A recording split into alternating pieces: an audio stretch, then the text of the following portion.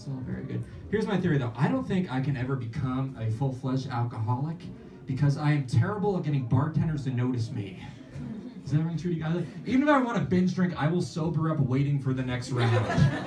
I, I, there's something about me. I give off like that exact right combination of polite and unimportant.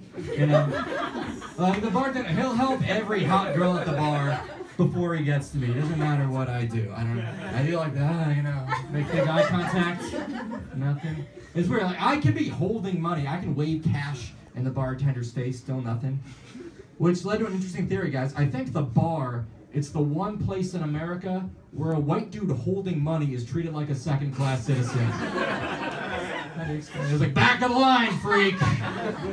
Go watch a Tarantino film, whatever your kind does.